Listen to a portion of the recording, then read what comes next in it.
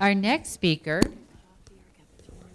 is Donald Jones, Vice President of Business Development with Qualcomm. And his focus today is going to be on the power of wireless medical devices, their applications and services. Everyone is on the net. Well, thanks to uh, Larry to uh, inviting me. I'm not sure he knew what he was doing when he invited me because he invited a lawyer uh, to speak to you. But that wasn't his worst mistake. I, uh, when I was in undergrad doing bioengineering, I was signed up to take a molecular biology class and walked in the first day and realized I had no clue what they were talking about. So I immediately ran to the dean's office and convinced the dean that abnormal psychology would be a really good substitute for molecular biology and got, it, got away with it. so you might really be wondering what, what's a wireless guy doing in a, in a conference like this. And and uh, I spend my time working with uh, medical device companies and pharmaceutical companies working on bringing connectivity into healthcare and, uh, and, and specifically wireless connectivity. So we're actually not a life science company, but we're actually a, a wireless uh, technology company that works specifically as one of our verticals in the, in the healthcare field. So today I'm going to walk you through what's happening in the world of wireless health. But in order to set the stage here, I'm going to walk you through a, a, little bit of background about our, our industry and the, in the wireless industry. Today we have about 4.5 million cell phone users in the world. And that, as it compares to other forms of con consumer electronics like TVs and PCs, is significantly ahead of that. We will finish this year with well over 5 billion cell phone users in the world and probably close to 5.5 billion. That's out of 6.5 billion people. So the notion here, or the opportunity here that we like to say is this is a technology that's more pervasive than almost anything else you can think. There are more cell phone users today in the world than there are toothbrush users. the network extends to, to more people in the world. More people have access to the network than they do to running water or to electricity. And that's really the powerful notion that's, that we're advancing in the healthcare world is that the power of the network, the access of being able to essentially create, put, put, put nodes on the network that, where those nodes may be any kind of variety of sensors, medical devices, therapeutic uh, interventions of a variety of type. They can take advantage of this network to create connected solutions which help save time and help save money. And so if we take these resources and then begin to apply them into, into healthcare, we all know what the problems are. We know what the sizes of the problems are, and they're quite large. They're very expensive. They're dominant in various forms through different populations. The issues in the first world countries versus third world countries vary, but there's still very interesting issues in, in, in all of them. So we start looking at the targets. And this particular list of targets was put together by Eric Topol together with myself with, with the West Wireless Health Institute. And these are some of the solutions that can take advantage of wireless technologies in order to make things happen faster. And that's really where we see the ROI in applying wireless technologies in healthcare. The ROI comes from making things hap happen faster than they would otherwise happen because there's connectivity. We call it collapsing time and space. So if you look at the examples here, these are some of the top targets we identified, and we, as, a, as a, one of the original board members at the West Wireless Health Institute, these were the targets we, we assigned, uh, assigned to the Institute, and with some of the applications that we put on it. I'll talk a little bit more about the Institute here in a minute. So, what do I do day in and day out, and what does our industry do day in and out in, in our vertical of applying wireless? Well, predominantly work, we work with sensors. And we work with sensors that are in the body, as in implants, on the body, around the body, and environmental. And we work in combinations of sensors, and I'll show you some examples. But the sensor side of things is one of the large areas, not the only area, but one of the large areas that's coming into the cell phone world, and frankly, in many ways, in, some several good examples is already here. How, how many here are users of the Nike Plus system? looks like about 5, maybe 10%. That's the accelerometer that goes in your shoe. And that's a wireless device that'll communicate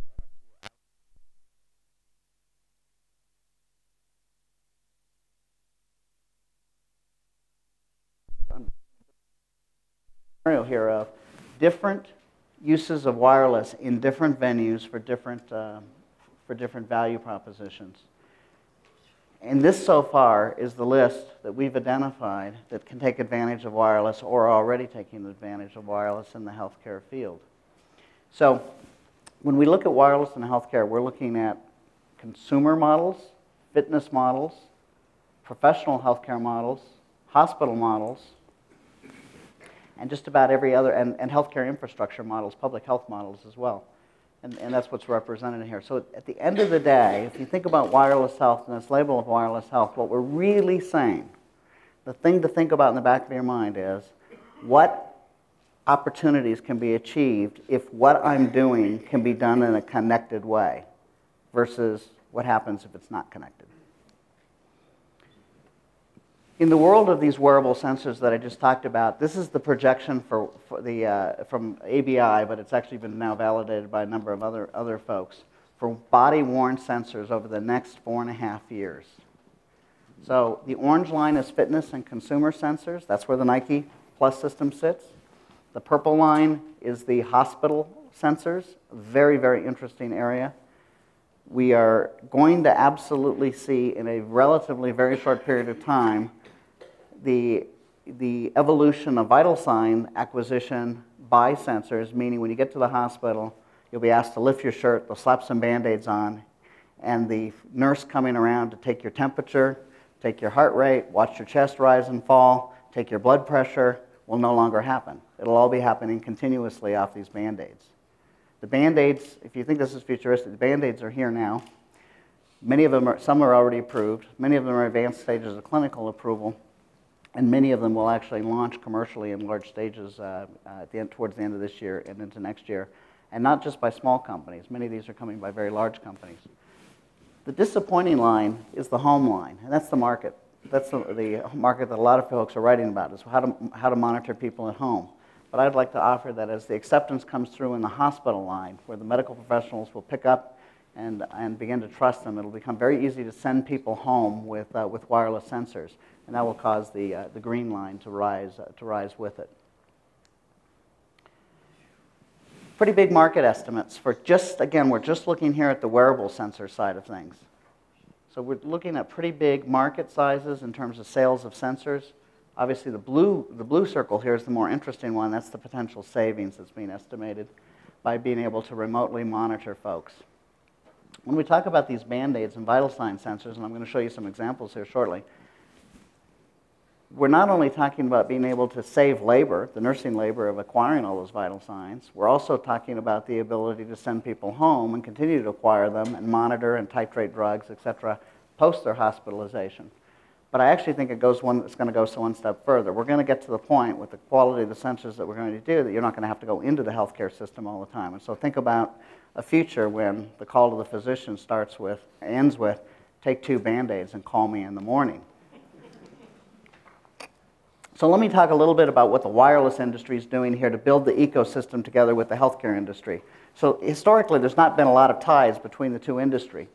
So when I first started in my role, I had to start to look at how to build a liaison between the healthcare industry, life sciences industry, and the wireless industry. And to begin with, I had to get the life science industry thinking about how to use wireless before I could get the wireless industry talking about how to sell their services to the life science industry.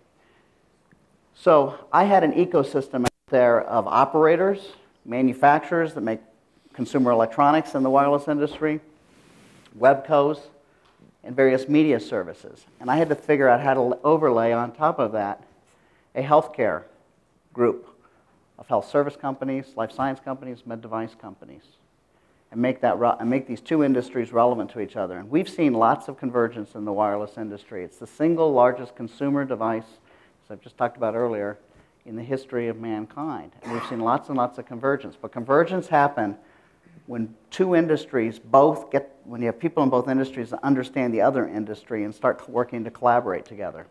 When that happens, you actually start seeing the converged products come together. So five years ago, we put together something called the Wireless Life Science Alliance. And just this week, I actually just came from here, we just had 1,000 people in La Jolla at our annual meeting working specifically on this topic. And there's just some examples of some of the, some of the partner companies that are involved in the application of wireless in, in the healthcare space. And this happens to be an organization that puts on a variety of, uh, of, uh, of, of, types of meetings from targeting CEOs, targeting investors, and targeting the, uh, the academic community. This last year, we just opened the West Wireless Health Institute. This is an institute that uh, Eric Topol and I uh, kind of dreamed up on the back of a napkin. And we, what, what, we were looking for was a place to combine the clinical expertise with the scientific expertise with the wireless engineering expertise and essentially create that three-legged stool in one place. I only had the wireless part of Qualcomm. We didn't have the other part. So we, we dreamed up a, uh, an institute for this and found a, a benefactor in the form of the Gary and Mary West Foundation who's publicly announced about $65 million in support for this institute, which is now open. But in fact, you will see shortly over time that the financial support for this institute is dramatically higher than that. Uh, we recruited uh, one of the three vice chairs of J&J to run it, Joe Smith from previously CMO of uh, Guidant and, and later in a similar role at uh, J&J as Chief Medical and Scientific Officer. And this is actually becoming very rapidly a convergence between wireless technologies, personalized medicine, genomics, drug therapy, all in a, in a very specific focused uh, uh, research institute. Larry, if you have any postdocs that are interested going on, we have 25 postdoc positions, and about 20 of them are left to fill right now. So, um, we also have some very interesting standards groups forming, and I'll just point out this group. This doesn't show all the companies, but this is a standards group for consumer health products. Now look who's in this group. You have med device, you have pharma, you have insurers, payers, you have wireless companies, both the carriers and the, and the consumer electronics producers, and you have healthcare providers. Can you think of any other organization in the world that brings those groups together in, one group? And what are they working on? They're working on standards for consumer health devices. There's 230 companies in this, in this group, and they meet all over the world. This is something a lot of the healthcare industry doesn't even know is actually happening kind of in the background. But what does this portend to? It portends to a whole number of products that are cheaper, produced in, in much higher volumes than typical, and um, actually can be used by consumers at home. And I'll show you one of the first certified products. So this is a, just a Bluetooth Nonin SpO2 meter. In the hospital, this is three to six thousand dollars. In the consumer at home version, it's about three hundred dollars. If I bought it in China, it's about $30. it's available in China too at that. Probably with Nonin IP, I suspect. But this gets a heart rate SpO2, but in a battery operated, connectable way where the patient can self apply. It, has, it actually has the ability to do some alarms, or you can tie it with their phone number and have them kind of remind them to test when you want them to test. But it also shows the value of kind of bringing, applying some consumer electronics into a much lower price point uh, FDA approved device. The mHealth Alliance is another group. This is the world's largest foundations getting together and saying, how should we spend our money on mobile health applications? So this was originally put together by the, by the United Nations Foundation. This is Ted Turner's money, if you remember the billion dollars he gave to the United Nations. Then joined by the Rockefeller Foundation and the Vodafone Foundation. There's a bit of a dotted line to the Gates Foundation. But essentially, the mHealth Alliance is beginning to ask the question, how and where should we invest our money in mobile technologies uh, in, to, to benefit the developing world. And you are going to see over the course literally of the next 12 months a number of efforts, both funded and a number of RFPs for projects that will offer funding to bring mobile technologies into the, uh, in, especially into the third world uh, arenas. And that doesn't necessarily mean simple kinds of projects. Some of the, some of the most uh, interesting projects we're seeing in the third world are things that are very elaborate, like actually monitoring all the patients in a hospital, running, running an ICU remotely, cloud-based ICU patient monitoring, using cellular connectivity instead of buying very, very expensive GE, Siemens equipment and putting big boxes and having it self-contained in the hospital, using very inexpensive devices and running cloud-based systems to, to run the monitoring system. We're even seeing the cellular industry pick up the wireless talk. This is the uh, Cellular Telephone Industry Association. That's Eric Topol in there giving a presentation on wireless and healthcare. Um, but even more interestingly, at Consumer Electronics Show this year in January, for the very first time in, a, in GE Healthcare's history, a medical device was launched not by a GE executive, and not at a healthcare show. It was launched by Eric Topol on stage at the Consumer Electronics Show. It was the GE V-Scan ultrasound, pocketable ultrasound. Gives you a little bit of idea of maybe where GE's thinking long term and why they might have it cause a medical product to launch at a consumer electronics show and not at a medical show. So let me, I'm going to walk you through some examples. We'll go through some different categories, and first in the consumer health area. But I, will I'll point out that what's beginning to happen here, and I'm showing the Nike product here on the, on the left, and uh, some other products around other heart, heart measurement and exercise measurement, we're beginning to see a world where people are learning to kind of live by numbers and feed, other kinds of feedback.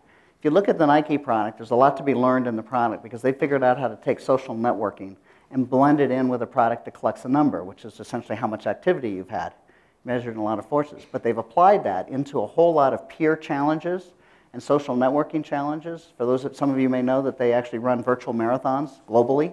You can actually be a marathon runner of one against other marathon runners in your town because you're connected on the, on the net, so to speak. But here's the really interesting part that Nike didn't really expect. Uh, Nike now is pushing close, close up to 200, 2 million connected users through the Nike Plus product. But what they didn't expect was that the connected Nike customer is their most valuable customer. The revenue per customer that's connected to that, to that one product and all of the social networking has become their most valuable customer out of their entire network. And we're seeing that over and over and over again in other examples that we see in the wireless industry. That, that, that when you start to build, and think about the Apple example. Apple didn't just sell a phone, they sold a system. The iMac was a system, and the phone actually built on it. Now the iPad's built on it. Nike's done the same thing. They've built a retail system, an information system, a fun system, a way of sharing information, a way of challenging your friends, and, uh, and participating in a group method. Think about applying the Nike system. Uh, an example in healthcare is Patients Like Me, where patients are getting together in a social networking to kind of compare their own, their own experiences around a particular disease. If you haven't looked at that site, that's a very interesting one to go. This is a very simple application I'm showing in the consumer space called the pill phone. This does something very simple. It allows people to manage their list of medications on their phone. So when they go to the doctor and the doctor says, what are you taking? It's right there. The whole list is there. It's not on a card or coming out of memory or in the, black, in the paper bag where they've dumped all the medications in. Uh, it allows them to set up reminders so they can have for each medication so that during the day the reminders can, can go off. It allows them to run drug-to-drug -drug interactions. This empowers the consumer to do their own drug-to-drug -drug interactions right on their phone. And it's a very inexpensive way of deploying, uh, of, of, deploying that technology. The iPhone application just came out uh, yesterday, as a matter of fact. Here's a different version of, of a very simple application on the phone. This one's deployed in India. This is to fight counterfeit drugs, where up to 50% of the drugs are counterfeit in India, where a pharmacist can make a much higher margin, 80% instead of 20, typically, selling a counterfeit product. Some, some cases intentionally, in some cases without knowing it. What this product does is allow the consumer to buy the product in the pharmacy get a scratch code on the product, text it to a standardized number, and get an immediate response back a, uh, from an SMS message to say that product is actually a legitimate pharmaceutical product.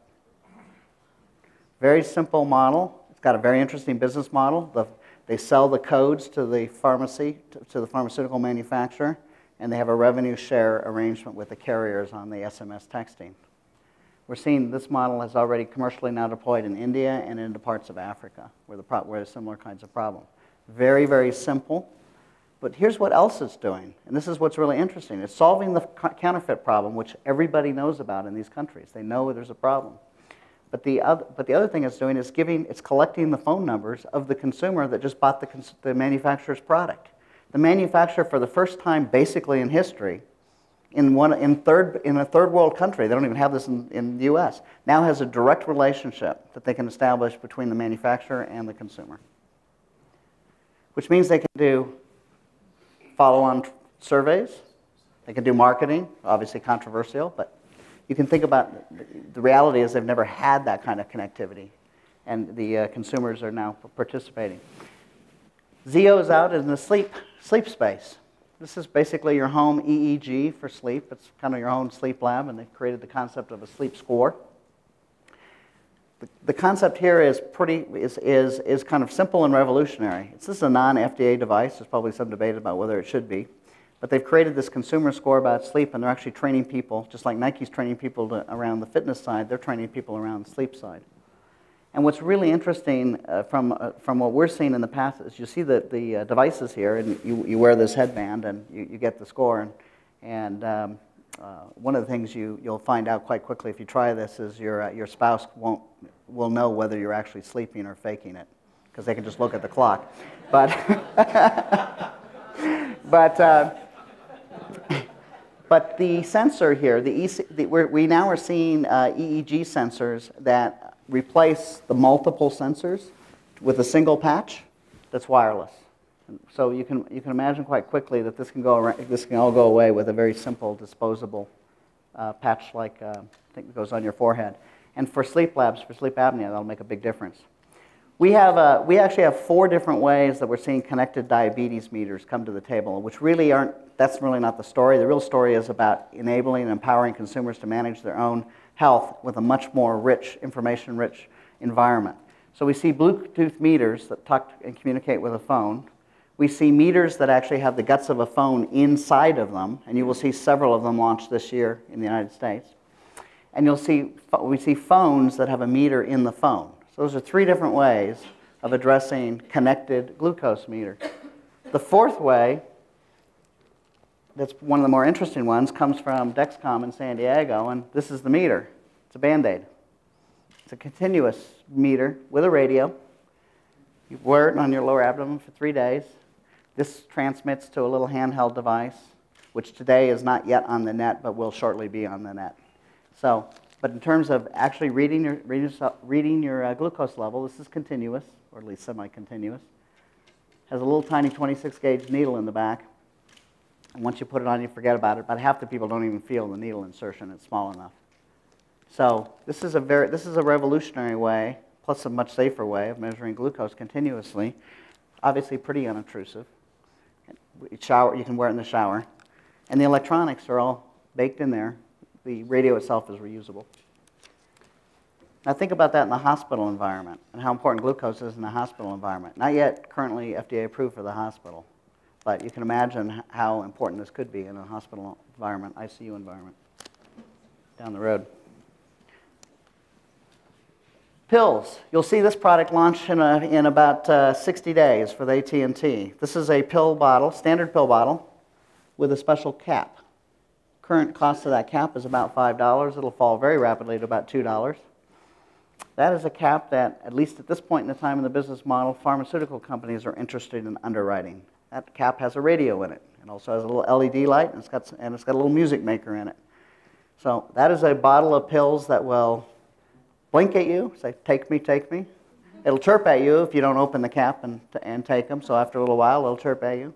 If you still don't take them, the network will call your phone and say, hey, you know, the bottle is telling uh, us, telling us you're not taking your pills. But that's not the best part in my mind. The best part in my mind, uh, besides the fact you can actually build a social networking, you can let mom, dad, the kids all know you're, whether you're taking your pills or not. The, be the best part is, is that as you're pouring the last pills out of that bottle and realize that you're going to need some more pills, the reorder button is on the bottom of the cap. That's all you do to reorder is push the button. You've just sent the message in saying, I need some more and then FedEx or UPS or the mailman can bring, bring you more pills. That pill bottle talks to that nightlight. That's the way it gets to the net. That nightlight has an AT&T radio in it. So the instructions, the, imagine the simplicity when mom goes home from the pharmacist with her bottle of pills, cap's a little different, got a little light on it, and a nightlight. And the directions from the pharmacist are plug the nightlight in. That's it. That's the system. It's already been set up. So this is an example of a very consumer-friendly product. That Nightlight can support up to 12 different bottles. The bottles are color-coded, so you can have different, manage different pills. At a price point where that entire system can go out the door at under $100. And when you look at two things, increased compliance, right now the research on this particular product shows about a 23% pickup in compliance. Uh, it's really interesting to see maps of entire cities where you have hundreds and hundreds of users going and seeing what happens with compliance, which you can actually see, see live here. Um, but, about a 23% uptake in, in compliance with some additional uptake in renewal of prescriptions, which gives the economic model so that somebody will pay for it and give it to the consumer for free. It's the Kindle model. It's the Amazon Kindle model applied to drugs. It's the Amazon one touch button right on the pill bottle. And that's an interesting concept that we've been working on with a lot of manufacturers around the idea of sh should I put wireless connectivity in my device? First reaction is, is well, what will I get out of that from a clinical result? How will I improve outcomes? And they're all envisioning seven years worth of trials and papers and publications and twisting of arms.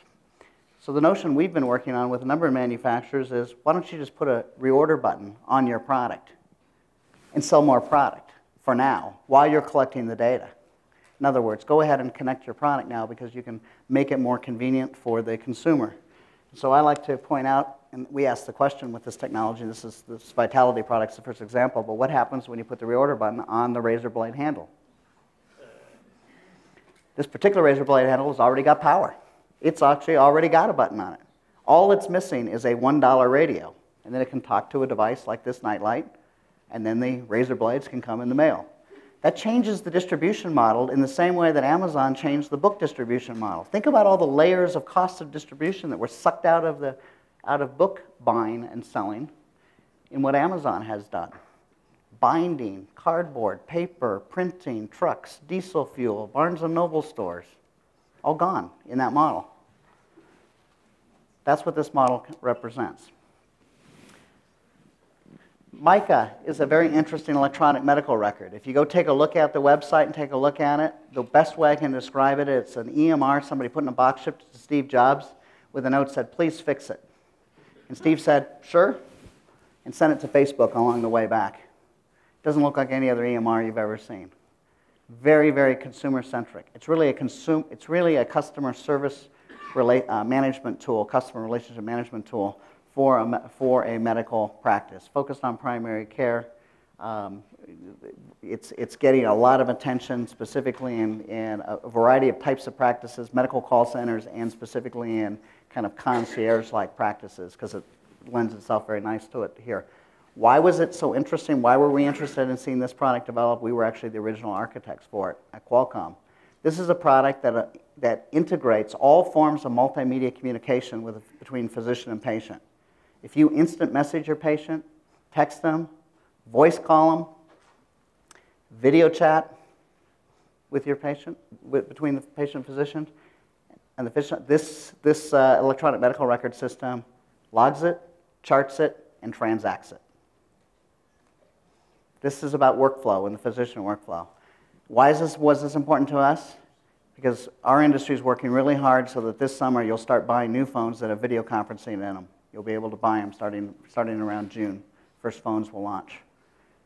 And you'll have video conferencing in your pocket. And so it'll make sense to have it work if it works in the workflow of the average physician, which is why we wanted some examples in the marketplace. We're also to see wireless applied to diagnostics as a service. This is actually a company that's been around for eight years, does electrocardiograms 24 7, 365.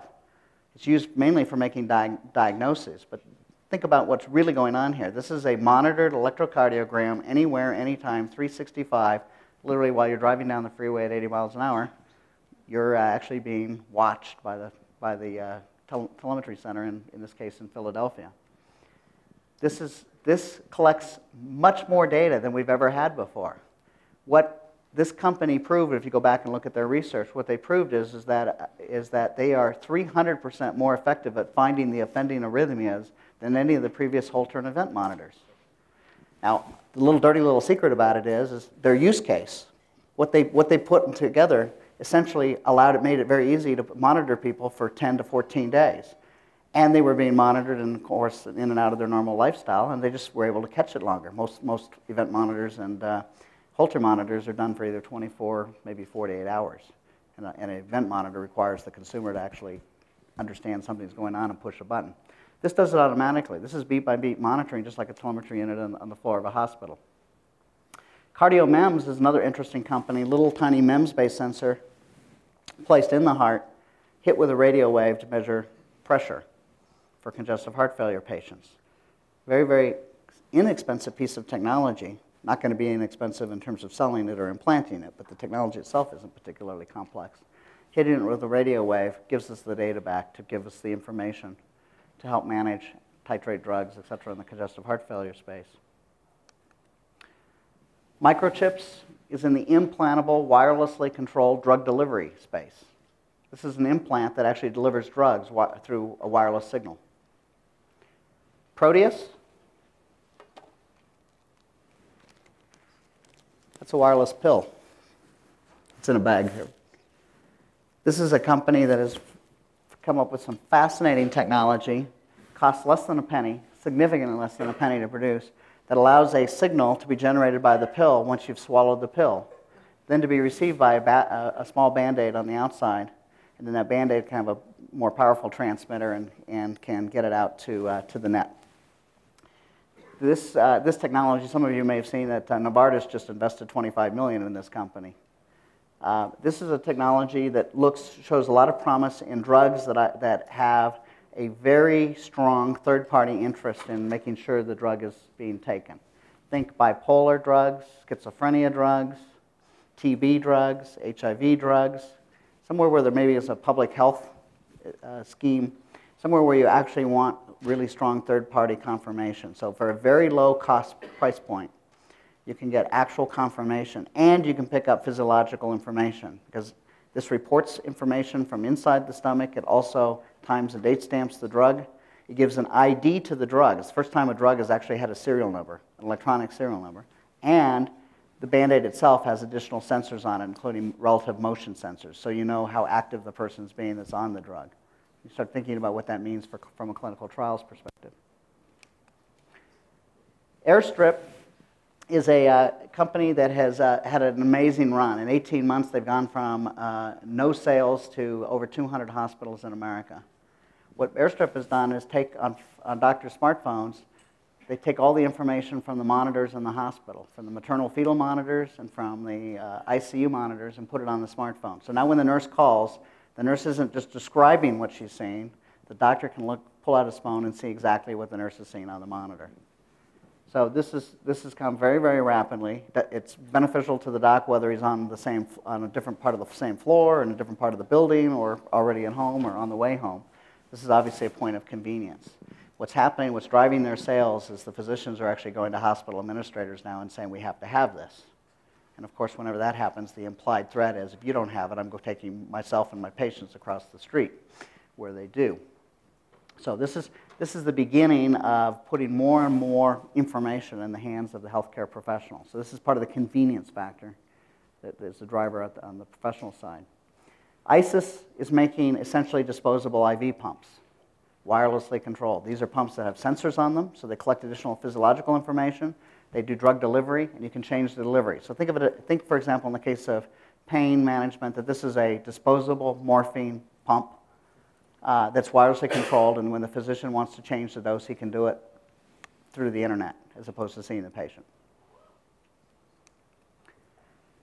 Zephyr is uh, built a series of devices along the chest strap uh, route, which people are familiar with because of Polar and Garmin, et cetera. But notice, notice the number of additional sensors that are built in. This has uh, gained a lot of uh, traction with the military.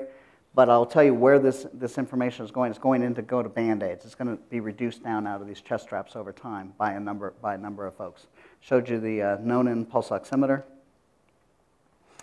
Corventis is uh, done a very interesting patch in the, for the congestive heart failure market. There's eight sensors in this patch. This is a Band-Aid, peel and stick disposable Band-Aid. It's worn on the chest here.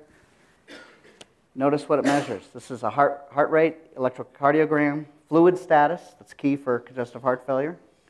Temperature, respiratory rate, activity level, and posture.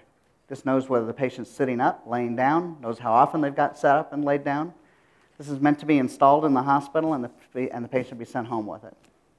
So this is a situation where the patient gets sent home with a box of these. And this is about titrating drugs and preventing those readmissions as much as possible and remote, remote monitoring of that patient. Wound Technology Network uh, focuses on uh, a home care of wounds, specifically mainly from, caused from diabetes, diabetic neuropathy, and all of the other related things that, that happen with diabetic patients. This is using smartphones, pictures, to manage and care for these patients at home. This happens to be a company that does all of its documentation, all of its care management on phones. So this is a combination of nurses and doctors. They do everything in terms of their care management via smartphones. MedApps is an interesting company. That little phone that looks like a cell phone is, it's got a cell phone inside of it, but it's not a cell phone as you think of it. That's a gateway device. That is a, a device that kind of magically connects scales, blood pressure cuffs, pedometers, etc., to the net. So it makes it very easy. The consumer doesn't have to do any setup. All of the device management is done from the cloud. And, and that device put in somebody's home means you can send them a scale, say, and have UPS deliver it, and they can take it out of the box and it'll automatically be connected. So this is something that's very uh, interesting to folks from the clinical trial side, as well as some of the disease management companies. BL Healthcare has the same functionality in their device, that same kind of gateway device, but their device also uh, provides video conferencing. So this, this device uh, uses a cellular connection. It can be drop shipped into somebody's home, and that's key. Drop, drop shipping is key in this area, and I'll, I'll explain why here in just a moment, but it's use cellular. The instructions are take it out of the box, plug it in, and it just works. You don't have to do any other setup. Why is that so important? Why can't you use the, the, uh, the, blue, the um, Wi-Fi connection in somebody's house? The reason is there's too many points of failure. They may or may not have a broadband connection. They may not have a Wi-Fi router. They may not have Wi-Fi the radio may not extend coverage into the room they're going to use your device. They may not know how to add another device and get over their own security. They may not be willing to reestablish security. So companies that have tried using Wi-Fi uh, that we have seen have all failed. They've all come back and they're going using cellular connectivity because they can drop ship into people's homes. When I showed you when I was talking about CardioNet, CardioNet had the first experience here the way you, when a physician orders a CardioNet uh, system, rather than going down to the basement of a hospital and having a technician install the, uh, the device, the, uh, the FedEx guy brings you the device and you self-install. It's that simple. A couple other quick uh, connections here. Great Connections, a Swedish company. Very interesting company. This allows the woman to leave the exam table with the video of the, of the baby's ultrasound, the fetal ultrasound, before she gets off the table. All the physician has to do is enter a phone number onto the DICOM screen. The video is transferred. Why is this revolutionary? Well, if the IP holds on this particular company, and one of the ultrasound companies gets control of it, the others are out of business, at least as, as, as to OB sales. Very, very popular in Sweden already. It's just come to the, uh, it's just come to the United States, and you can count all the ultrasound companies are, are chasing this company. And I saw it this week as as the uh, founders of this company were being chased at my conference in San Diego. Kelcoms in, China, in uh, Japan. Japan is interesting for this, from this point uh, alone. The Japanese government have, has mandated with fines um, metabolic examinations at age 40 and up. So if you're employed, you have to go through an exam process, includes weight and um, a chest measurement and a couple of other, other measurements If you fail according to standardized charts, the company pays a fine, and the contribution for that individual goes up to the health trust goes up. So there's now a number of companies serving the employer market to help avoid those fines and increase contributions. That's in a three-year implementation phase. Sotera is one of the most interesting products for the hospital market. I'm showing you the, uh, a, device that measures temperature, continuous blood pressure without a cuff. That's a revolutionary breakthrough, heart rate, respiratory rate, SpO2, and motion. That's a bigger picture of it. This is worn on the patient's wrist. This is an example of one of the systems that we've seen that's going to go on to hospital patients, just right when you check in. All of these things are now being monitored. If you send the patient down to x-ray, they can be monitored all the way down. This is a Wi-Fi based system. But interesting, it also tells you where the patient is, and the patient can actually call the nurse right from this system. And the nurse can wear one of these devices when the alarm goes off and see which patient it is and what the, what the alarm is, is, uh, is going on. So I'm going to I'm gonna skip through. We're uh, a, few, a, few, slides here, so we'll allow some time for questions. But we're trying to solve some of the issues that go with the connectivity and making body area sensors. There's a lot of technical issues here from a radio perspective. Uh, that's where Qualcomm comes in. We work with literally hundreds of companies in this space. We find the common issues and we try and sol- solve those common issues so the companies can, um, can take advantage of that technology to go ahead and deploy their own healthcare solutions. We're working on it on gateways, uh, as, as just like the Nightlight Gateway, variety of gateways, so it's very, very simple for medical device companies to put their product on the net. We're working on various tiny modules. I've got one here, it's the size of a nickel. Um, these are, this is everything you need to, put, uh, to make a cell phone. So if you can fit a nickel into your product, you can, your product can be on the cellular network directly. If not, it can have a less expensive radio and then connect to a, uh, a gateway. So these are some of the sm world's smallest modules for connecting wearable devices uh, onto the net. So we like to say con connectivity matters.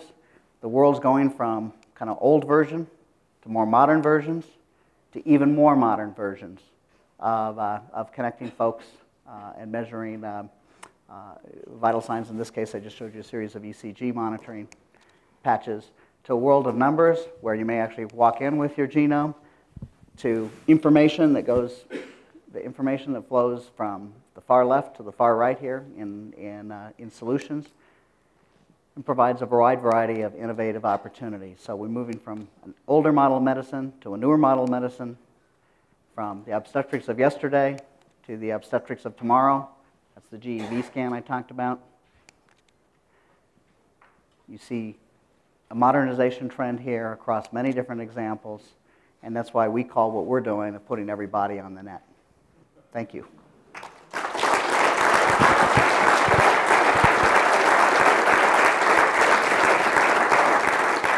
Will you take some questions on? Absolutely. How about some people who haven't asked questions yet?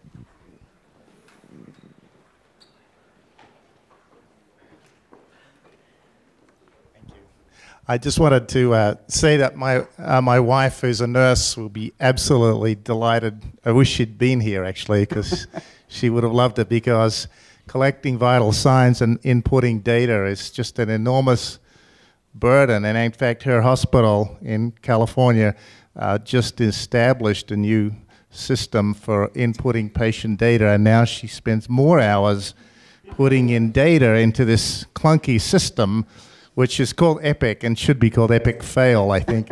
but it, it's amazing how the difference in what you're showing here and what I hear her talk about every night, and how painful it is to see the clunky way in which hospitals are actually, uh, I was going to say bringing in, it's sort of more imposing kind of technology on people who work in hospitals and how it actually often is um, not Im improving workflow, it's actually inhibiting it.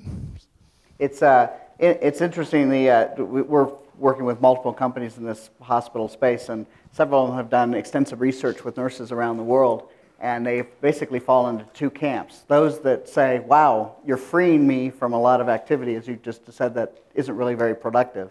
Uh, and those that say, you're stealing my job from me.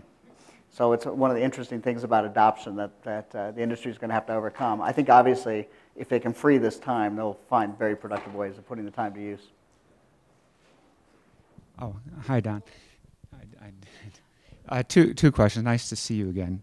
Um, first question, I guess, is related to reimbursement. Um, one of the big issues is uh, if we go to more remotely located care and care in the home, do we get paid for it? And I know that in the remote monitoring business, this has been an, an issue for some time. The second question, which to me is the more important, is this is all great and wonderful. We're generating lots of data. What do we do with the data?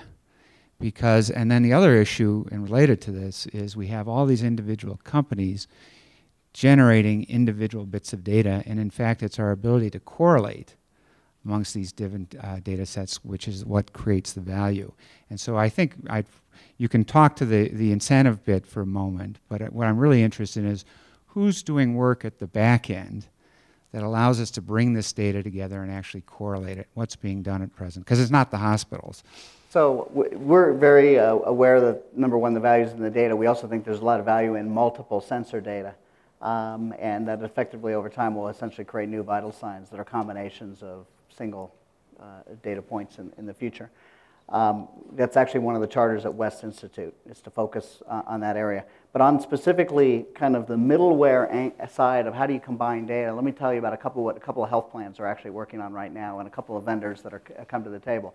The health plans recognize that there's lots of point solutions walking in the door. Somebody walks in and says, I've got a better connected scale, I've got a better connected blood pressure cuff, I've got a better connected CHF uh, solution.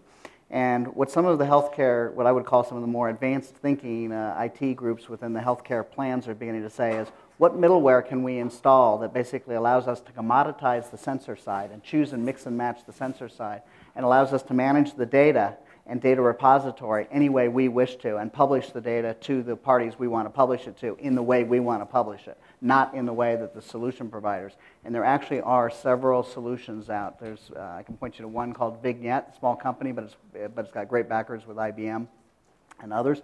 Uh, but these are, that's an example of somebody that's sitting there that's actually built part of that middleware to, uh, to kind of solve that, that problem and essentially take, a, take the point solutions apart and say, listen, we're interested in your sensor and perhaps we're interested in your algorithms, but we're not interested in your end-to-end web-based solution. But, but the middleware is the connectivity piece, is that right? It's not the analytics. Middleware, middleware can, well, when you put that middleware with a company like IBM, you now have both. And that's the point of it. Yes. So that's, that's the, the companies working on the middleware are teaming up with the analytics companies to provide the, the analytics tools in order to provide that tool. On your, um, your first question, uh, reimbursements, if you're going after a reimbursement market, it's a challenge. That market is different from obviously in the US, say, versus Europe versus others. I would say 75% of the, of the uh, products we work on, frankly, are not pursuing a reimbursement model. But the, the Sotera product for the hospital, that's a hospital cost of doing business model. The, the Vitality uh, pill bottle, that's a pharmacy or PBM or in, the, or in their launch product case, uh, ph pharmaceutical manufacturer reimbursement model.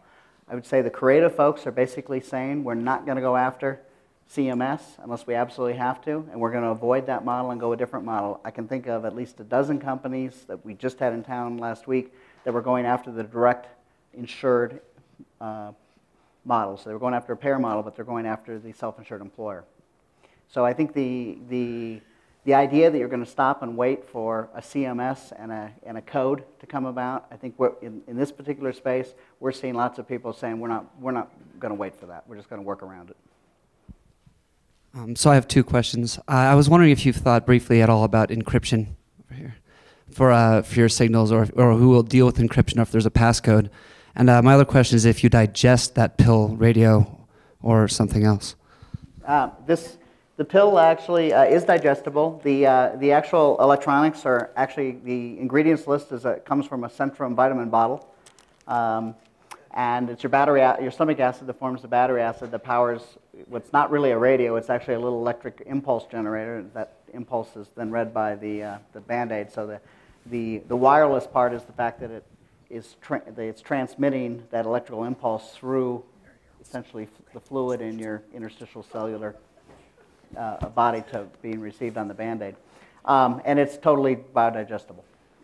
Uh, on the encryption side, yes, there's, we, we actually are, a, are one of the world's best encryption providers, but that's not what most of the life science companies ask us for. Uh, we're known for it for little entities like the CIA and the NSA, and when the president picks up a cell phone, it's one we built.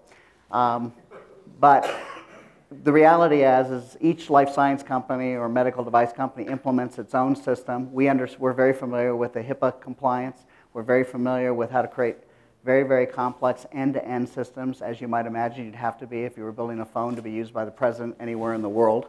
Um, but in reality, when folks come to experts like us on the wireless side, they, are, they have a way that they're going to implement that's going to be HIPAA compliant, security compliant. Sometimes they ask us for advice about how they may, may do it. Um, usually they're adding layers on top of layers. There's really, I mean, frankly, the way the cellular, if you're worried about the cellular signal, that's almost next to impossible to, to break. That's actually one of the strongest links in the system. But even then, most of these companies are putting additional encryption on top of those, uh, on top of those encryptions that's already there. Thank you very much, Don. Wonderful speaker.